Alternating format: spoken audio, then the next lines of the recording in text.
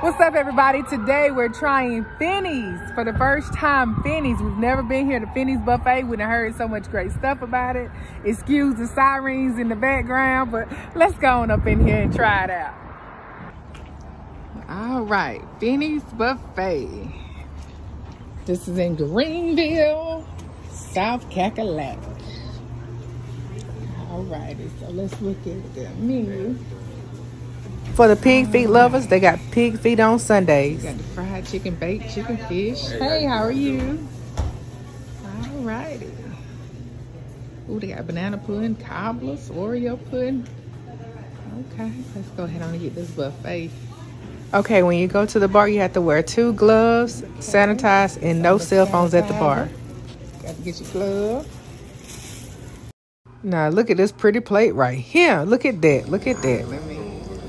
Let me get some of this macaroni. That macaroni pie was definitely, definitely homemade. It was so creamy and amazing. Fried corn. Now that fried corn, ooh, it tastes like your grandma made that.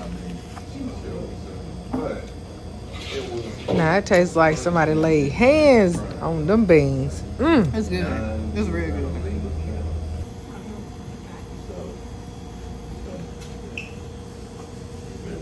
Hitting on something. Okay then. It's great. plate number two. Y'all, this is plate number two. Got the yams on deck. All right, I got dessert too. So this is the banana pudding, this is the apple cobbler. See it? Uh-oh, the cookie's hard. I like that.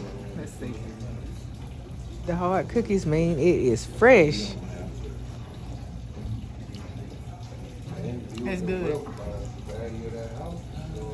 How's the uh, cobbler?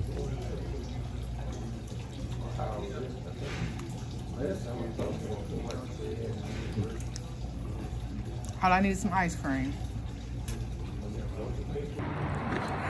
When we tell y'all that food was good, oh my gosh, we we like two ticks. We so full. The food was amazing, y'all. Don't sleep on this place. Fhinney's in West Greenville is off the chain.